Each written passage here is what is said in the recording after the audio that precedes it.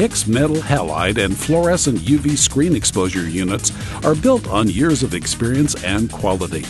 Whether you are exposing simple spot color screens to high quality four color process screens, HIX has the perfect screen exposure solution to fit your needs.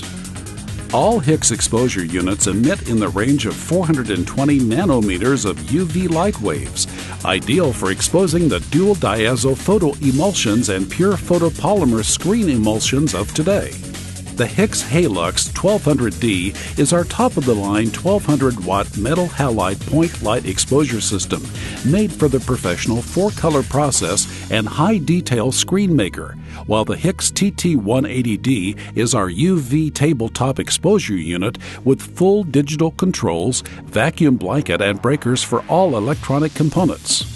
HIX also has the economical HIX TT110E. It offers a 23 by 25 inch exposure area perfect for the hobby screen printer.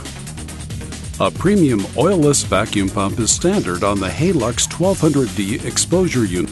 The HIX Hot Restrike exclusive low idle feature on the 1200D eliminates warming time between exposures, saving electricity and extending bulb life. It eliminates the need for shutter